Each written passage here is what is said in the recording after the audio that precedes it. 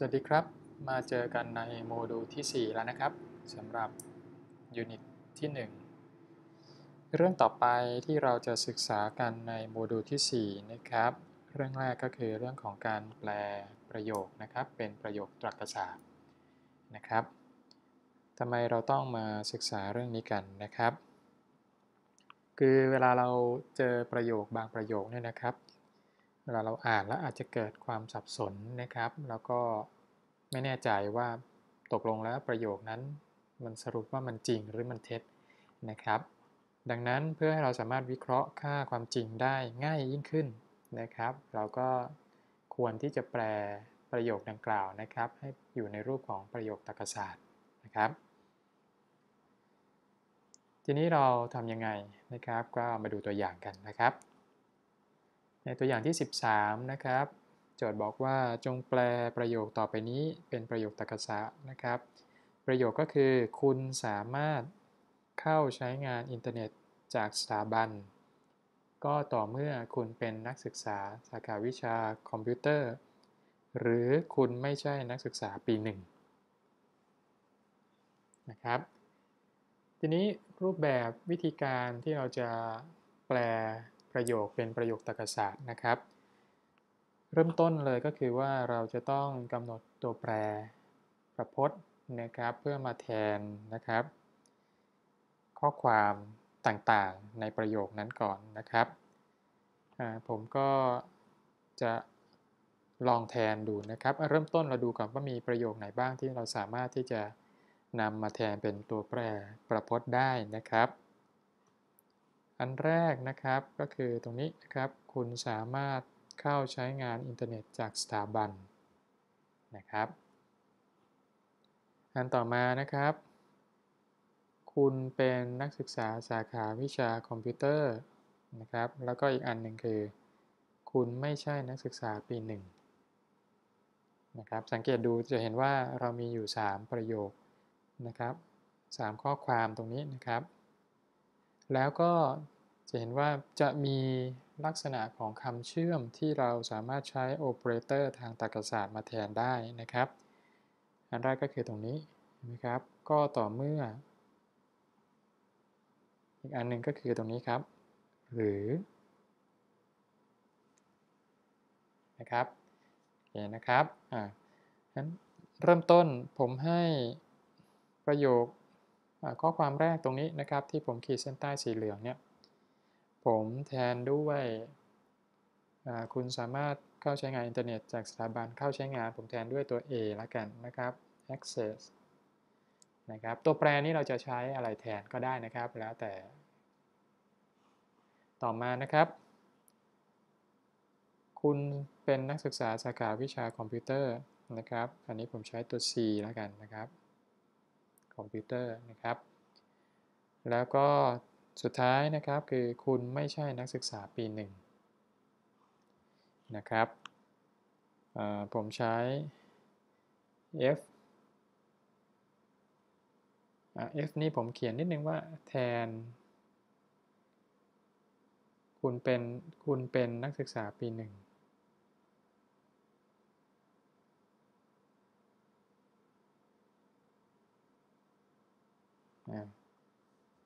ผมแทน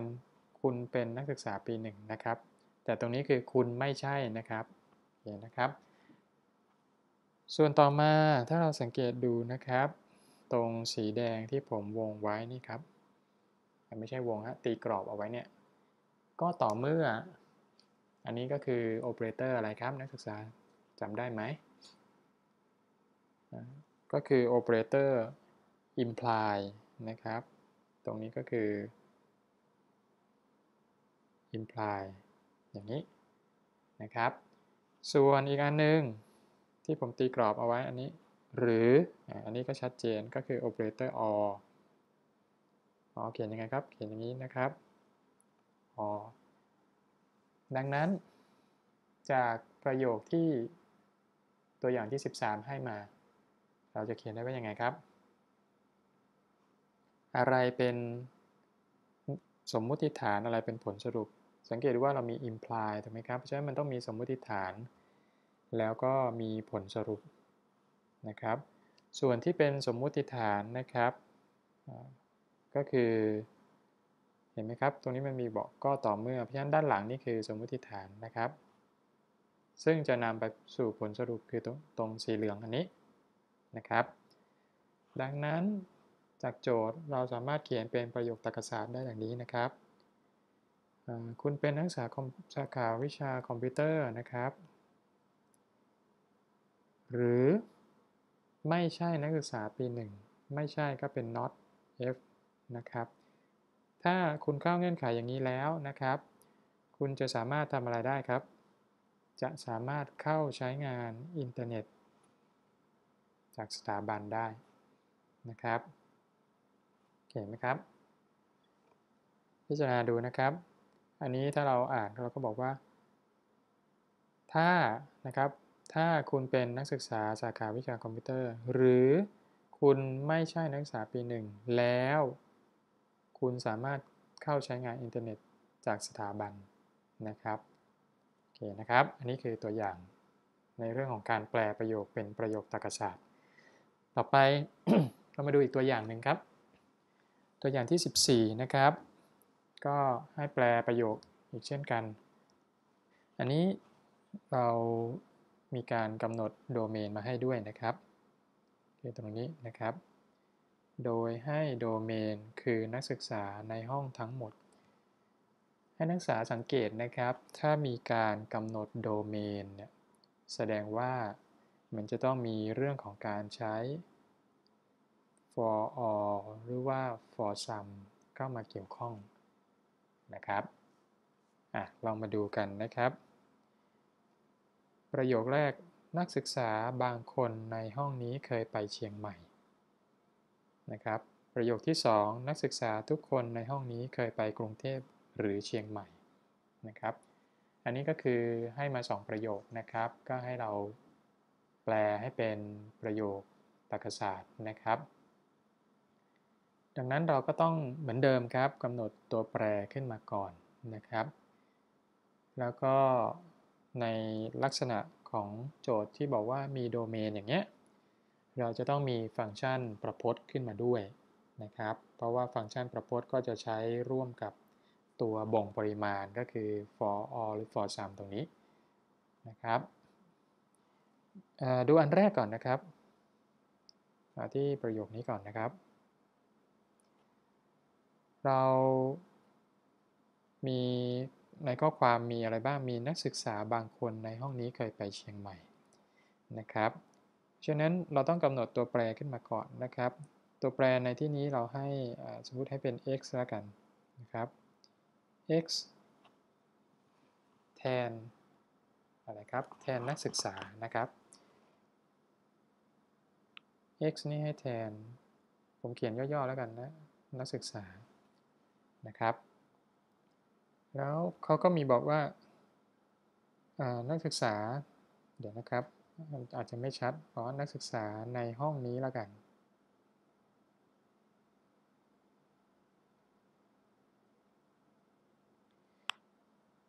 อันนี้คือ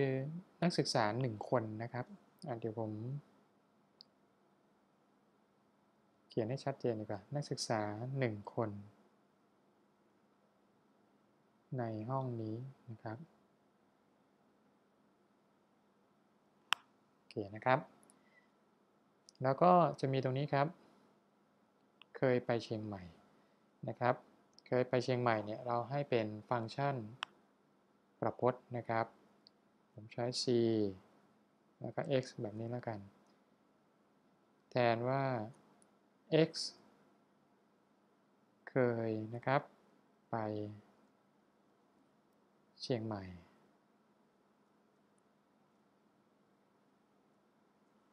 แบบนี้นะครับนะครับ เราจะได้มาแล้วมี x เป็นตัวแปรนะครับ แทนนักศึกษา 1 คนในห้องนี้นะครับ c ในวงเล็บ x แทน x เคยไปเชียงใหม่นะครับ อันนี้คือฟังก์ชันประพจน์นะครับ ทีนี้ถ้าจะเขียนให้อยู่ในรูป ประโยคอันนี้ครับ นักศึกษาบางคนในห้องนี้เคยไปเชียงใหม่ บางคนก็ใช้อะไรครับ บางคนตรงนี้ บางคนก็ใช้ for some ถูกไหมครับ ก็คือแบบนี้ เพราะฉะนั้นเราจะได้ว่านะครับได้ว่ายังไงครับ for some x นะครับ c x นะครับแค่นี้อันนี้คือคำตอบของเรานะครับ for some x c x ก็คือ x แทนนักศึกษา 1 คนในห้องนี้ คนไหนก็ได้นะหนึ่งคน ถูกไหมครับนะเสร็จแล้วก็ตรงนี้ก็คือบอกว่ามี x บางคนเคยไปเชียงใหม่นะครับ อะ มาดูต่อครับ ตอนนี้เดี๋ยวเรามาดูข้อนี้กันนะครับ ข้อนี้บอกว่านักศึกษาทุกคนในห้องนี้เคยไปกรุงเทพหรือเชียงใหม่นะครับ ของเดิมเมื่อกี้นี้เรากำหนดอะไรไว้บ้าง เราเรามี x ไว้แล้วนะครับ เรามี cx ถูกไหมครับ x แทนนักศึกษา 1 คนในห้องนะครับ cx แทน x เคยไปเชียงใหม่นะครับ ทีนี้ถ้าสังเกตดูในประโยคที่ 2 ตรงนี้ มีสิ่งที่เพิ่มมาคือเคยไปกรุงเทพนะครับ แล้วก็ตรงนี้บอกว่าทุกคนนะครับ แล้วก็อีกส่วนหนึ่งมีคำว่าหรือเพิ่มเข้ามา ฉะนั้นก็จะเห็นว่า เราจะต้องใช้อะไรครับ พอทุกคนก็ต้องเป็น for all ถูกไหมครับ แล้วเราก็ต้องเพิ่มตัวแปรไม่ใช่เพิ่มตัวแปรครับ เพิ่มฟังก์ชันประพจน์ กรณีที่เคยไปกรุงเทพนะครับ แล้วก็มีโอเปอเรเตอร์หรือเพิ่มเข้ามาอีกหนึ่งตัวนะครับ เพราะฉะนั้นผมเพิ่มตัวฟังก์ชันประพจน์ก่อนนะครับเคยไปกรุงเทพผมใช้ b แล้วกัน Bangkok bx นะครับ เป็นฟังก์ชันประพจน์นะครับ แทนว่า x เคยไปกรุงเทพนะครับ แบบนี้แล้วยังไงครับ เราก็เขียนให้อยู่ในรูปของประโยคที่โจทย์ให้มานะครับเขาบอกว่าเคยไปกรุงเทพหรือเชียงใหม่นะครับ ก็อย่างนี้ครับ เคยไปกรุงเทพ หรือเชียงใหม่ แล้วก็บอกว่าไง นักศึกษาทุกคนในห้องนี้นะครับ แสดงว่า x นี่คือทุกๆ x นั่นเองนะครับเราก็ต้องใส่ for all x เข้าไปด้านหน้านะครับ นี่คือคำตอบนะครับ x แทนนักศึกษา 1 คนในห้องนะครับ เพราะฉะนั้น for all x ก็คือนักศึกษาทุกคนนะครับในห้อง เป็นยังไงครับ อันนี้คือเคยไปกรุงเทพ หรือเคยไปเชียงใหม่นะครับโอเค อันนี้ก็คือคำตอบนะครับ ต่อไปมาดูเรื่องของตัวบ่งปริมาณแบบซ้อนนะครับ หรือภาษาอังกฤษเราเรียกว่า nested quantifier นะครับ ในเรื่องตัวบ่งปริมาณเนี่ยเราเคยดูกันไปแล้วนะครับ แต่ตอนนี้ก็คือเราจะพูดถึงเรื่องของการนำตัวบ่งปริมาณนะครับ มาซ้อนกันตั้งแต่ 2 ตัวขึ้นไป ก็คือมีตัวแปร 2 ตัวขึ้นไปนั่นเองนะครับ อันนี้ก็จะช่วยให้เราสามารถจะแปลประโยคตรรกศาสตร์ที่มีแปลประโยคนะครับที่มีความซับซ้อนให้เป็นประโยคตรรกศาสตร์ได้สะดวกยิ่งขึ้นนะครับอลองมาดูตัวอย่างนะครับ ตัวอย่างที่ 15 ให้โดเมนนะครับสำหรับตัวแปร x และ y คือจำนวนจริงทั้งหมดนะครับก็จงหาค่าความจริงของประโยคต่างๆ ต่อไปนี้นะครับ ก็มีมาให้ 3 อันด้วยกันนะครับ เราก็จะดูไปทีละอันนะครับ ดูอันแรกนะครับ for all x for all y x บวก y เท่ากับ y บวก x นะครับ ความหมาย ถ้าเราแปลความนะครับจากตรงนี้คืออะไรก็คือ x ทุกตัวนะครับ ถ้าเราเอา x มาทุกตัวนะครับ แล้วก็ y ทุกตัวบวกกันจะเท่ากับ y บวก x จริงหรือไม่นะครับ นักศึกษาลองคิดดูจริงไหมครับ ถ้าเรา x มานะครับ x ทุกตัวบวก y ทุกตัว ในที่นี้คือหมายถึงว่าไม่ใช่เอามาทุกตัวพร้อมกันนะครับ เอามาทีละตัว อย่างเช่น เราบอกว่าเราเอา x ทุกตัวเริ่มจากสมมติเริ่มจาก x 0ไล่ไปเรื่อยๆ จนถึง x ตัวที่ n นะครับผมเขียนอีกแบบดีกว่านะครับ นะครับ x 0นะครับ สมมติเริ่มต้นตัวแรกคือ x 0เรียงไปเรื่อยๆ จนถึง xn นะครับ x 0บวกกับ y นะครับ อาจจะเป็น y 2 ก็ได้นะครับ xn ก็บวกกับ y 2 คือบวกกับ y ตัวเดียวกันนะ x ทุกตัวบวก y อันนี้เอามาบางตัวกันนะอันนี้มันเท่ากันไหมฮะ มันจะเท่ากับ y 2 บวก x 0 จนถึง xn หรือเปล่า ก็เท่ากัน ถูกไหมครับ มองกลับกันครับ ถ้าเราเอา y ทุกตัวนะครับ y 0จนถึง yn บวกกับ x นะครับ 1 มันก็จะเท่ากับ x 1บวกกับ y 0จนถึง yn เช่นเดียวกันนะครับ เพราะฉะนั้นอันนี้มีค่าความจริงเป็นจริงนะครับ x ทุกตัวนะครับ บวก y ทุกตัวจะเท่ากับ y ทุกตัว บวก x ทุกตัวนะครับ คือหยิบมา 1 ตัว 1 คู่เนี้ยนะสลับกันมันก็เท่ากัน แล้วก็ทุกๆค่าที่หยิบมาถ้าสลับกันมันก็จะเท่ากันเสมอนะครับ อันที่2นะครับ for some y for all x x บวก y เท่ากับ 0 นะครับ อันนี้หมายความว่าอะไร หมายความว่า y บางตัวนะครับ เอามาบวกกับ x ทุกตัว แล้วจะได้เท่ากับ 0 จริงหรือเปล่านะครับ นนี้คือหมายความว่ายังไง สมมุติว่าเราเอา y มาบางตัว คือสมมุติผมเอา y y 3มาบวกกับ for all x คือ x ทุกตัวเลยครับ ตั้งแต่ x 0ไล่ไปเรื่อยๆ จนถึง x ตัวที่ n บวกแล้ว ตรงเนี้ยไม่ว่าจะบวกกับ x ตัวไหนก็ตาม x บวก y จะต้องเท่ากับ 0 เป็นไปได้หรือไม่ครับ อันนี้จะเป็นจริงหรือเท็จ เห็นไหมครับ เราเอา y มาตัวหนึ่ง สมมุติว่าอะผมแทนค่าแล้วกัน สมมุติว่าคือ 2 แล้วกันนะ y 3คือสมมุติว่าคือ 2 ไปบวกกับ x ทุกตัวนะครับ ในโจทย์บอกแล้วว่าเป็นจำนวนจริงทั้งหมดนะครับ x ก็เป็นจำนวนจริงทั้งหมดไล่ไปเรื่อยๆ ถามว่าไม่ว่าตัวใดก็ตามมาบวกกับ 2 ตัวนี้แล้วจะได้เท่ากับ 0 จริงหรือไม่ คำตอบก็คือไม่จริงนะเป็นเท็จนะครับ อันที่ 3 นะครับ x ทุกตัวบวก y บางตัว แล้วจะได้ผลลัพธ์เป็น0นะครับ อันนี้คือหมายความว่ายังไง เอา x มานะครับ x ทุกตัวก็ไล่ไปตั้งแต่ x 0จนถึง x n บวกนะครับ อันนี้เอามาบวก กับ y ตัวใดตัวหนึ่งนะครับ y ตัวใดตัวหนึ่งนะครับ แล้วจะได้เท่ากับ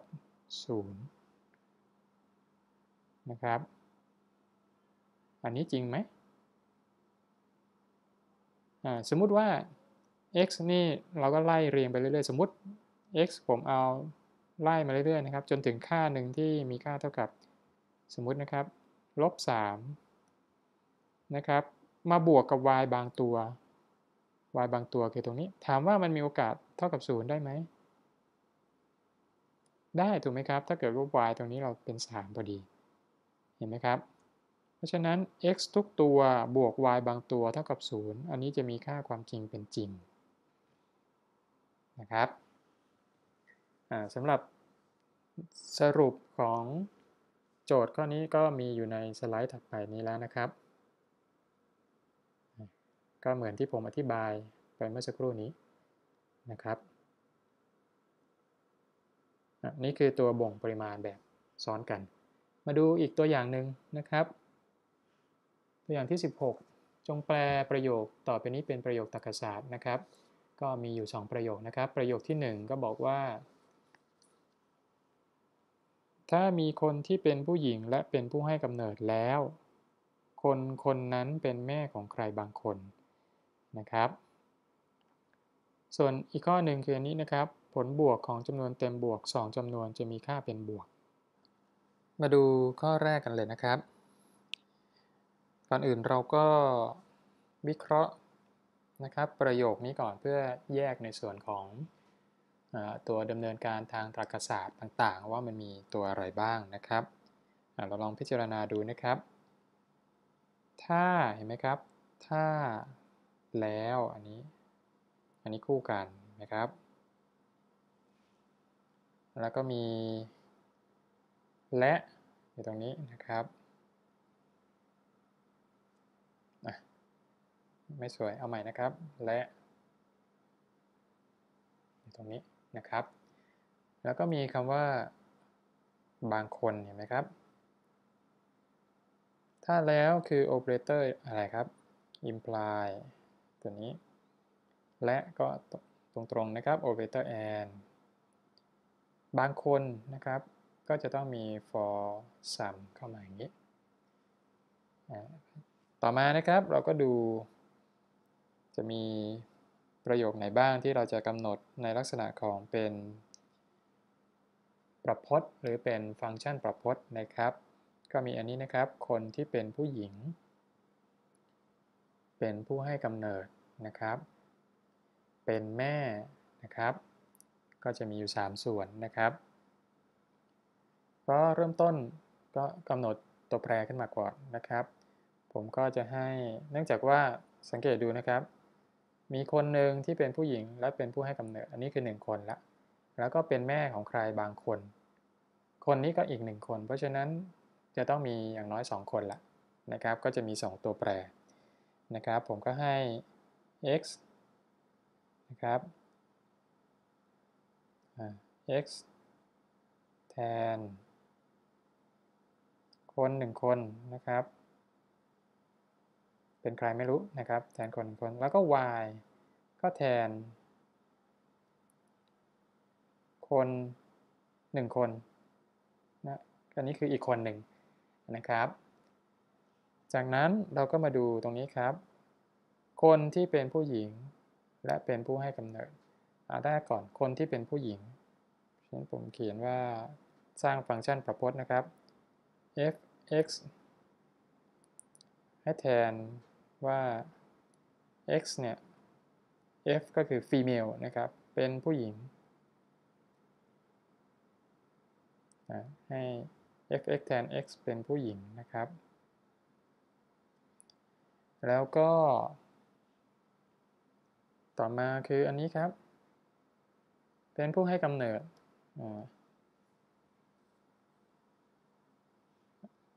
ใช้ตัว p แล้วกัน px แทนว่า x นะครับ เป็นผู้ให้กำเนิด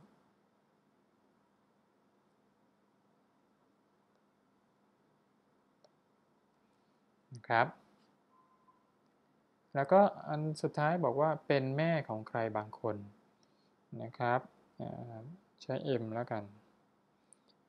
ทีนี้ตรงนี้บอกว่า ถ้าเป็นอย่างนี้แล้วคนคนนั้นเห็นไหมครับ คนคนนั้นเป็นแม่ของใครบางคน เพราะฉะนั้นตรงนี้จะต้องเป็น 2 ตัวแปรนะครับ m x y นะครับ แทน x เป็นแม่ของ y อย่างนี้นะครับ อันนี้เราก็จะได้ตัวแปรฟังก์ชันประพจน์ขึ้นมาแล้วนะครับ จากนั้นเราก็อ่านภาพรวมนะครับของประโยคนี้อีกครั้งหนึ่ง แล้วก็ใส่พวกโอเปอเรเตอร์ต่างๆ ที่เกี่ยวข้องลงไปนะครับ เริ่มต้นก็คือตรงนี้คนที่เป็นผู้หญิงและเป็นผู้ให้กำเนิดนะครับ เราก็จะได้ว่าอะไร คนที่เป็นผู้หญิงก็คือ fx ถูกไหมครับ f x และเป็นผู้ให้กำเนิด เป็นผู้ให้กำเนิดนะครับ เราแทนด้วยฟังก์ชันประพจน์ px นะครับ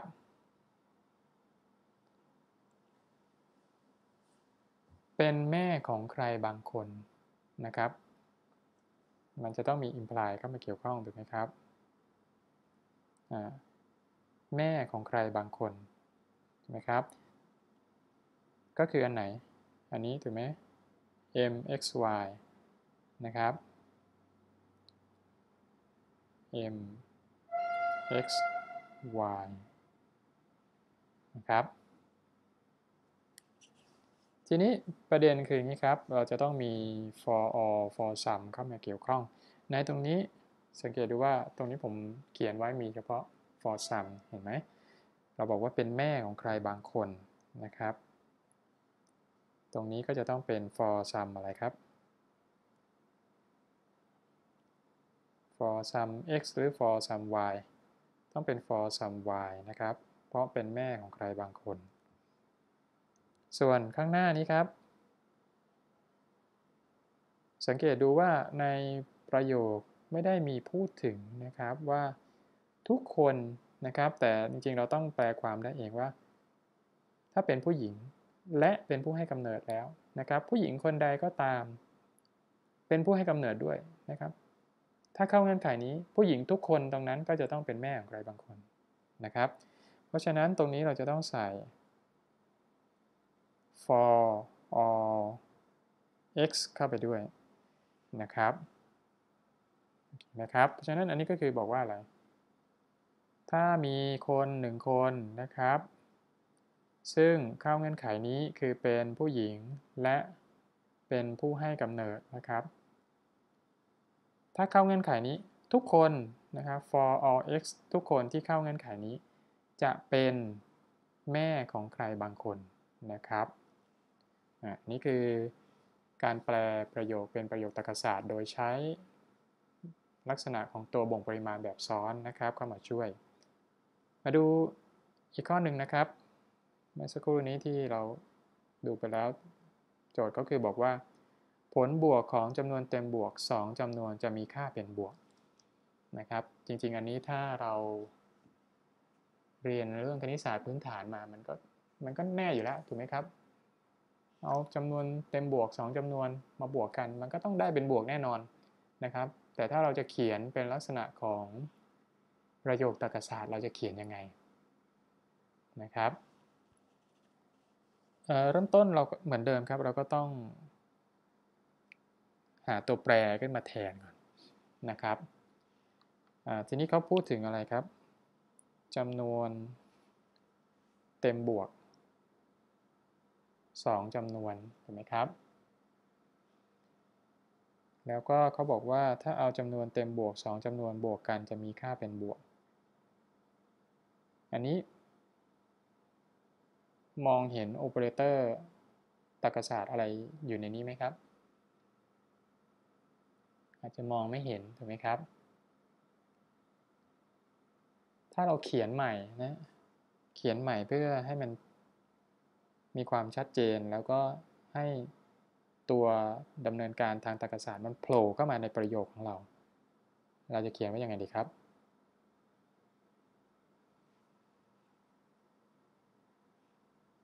อาจจะเขียนไว้อย่างนี้นะครับ ถ้ามีจำนวนเต็มบวก 2จำนวน แล้วผลบวกของมันก็จะเป็นจำนวนเต็มบวกได้ไหมครับ ถ้านะครับผมลองเขียนให้ดูนะครับ ถ้า มีจำนวน เต็มบวก 2จำนวน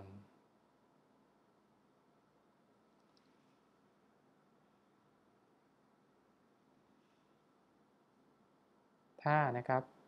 มีจำนวนเต็มบวก 2จำนวน แล้ว เอามาบวกกัน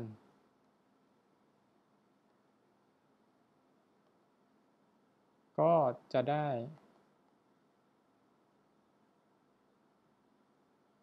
ผลนะครับ รับ เป็นจำนวน เต็มบวกยาวนิดหนึ่งนะครับ เราก็จะมีถ้าแล้วเข้ามานะครับ ก็เห็นว่าเราจะมี operator imply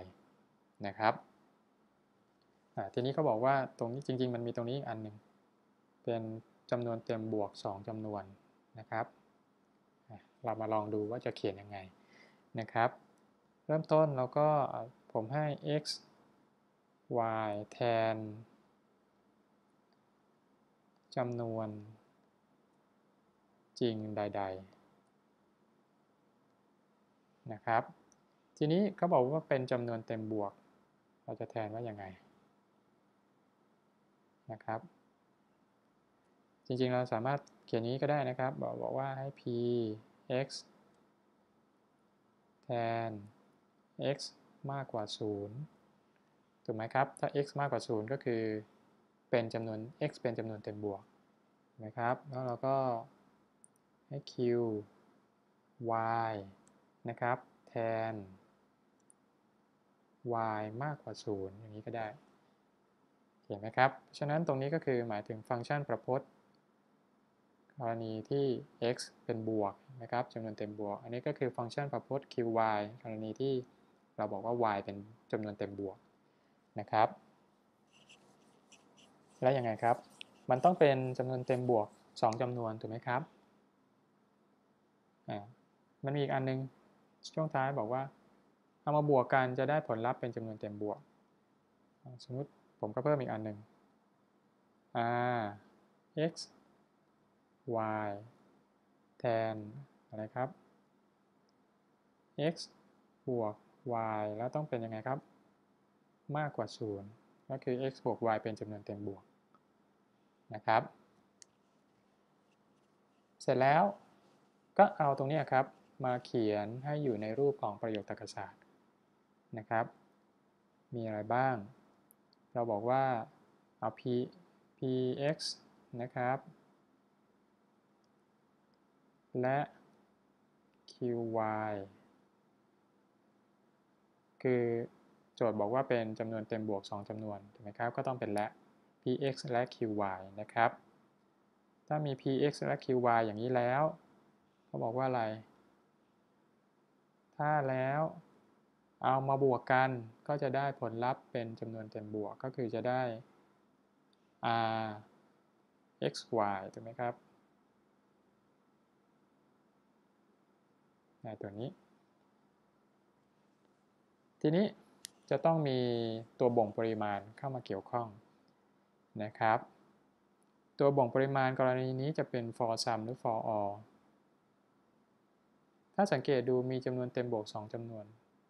จำนวนเต็มบวกทุกตัวนะครับ ถูกไหมครับ ถ้ามาบวกกันก็จะได้ผลลัพธ์เป็นจำนวนเต็มบวกเช่นกัน เพราะฉะนั้นกรณีนี้ก็จะเป็น for all นะครับ เราจะใส่คลุมทั้งหมดนี้เลย คือทั้ง ทั้ง x และ y for all x for all y นะครับอันนี้คือคำตอบเห็นนะครับสำหรับโมดูลที่ 4 ก็จบเพียงเท่านี้ครับ สวัสดีครับ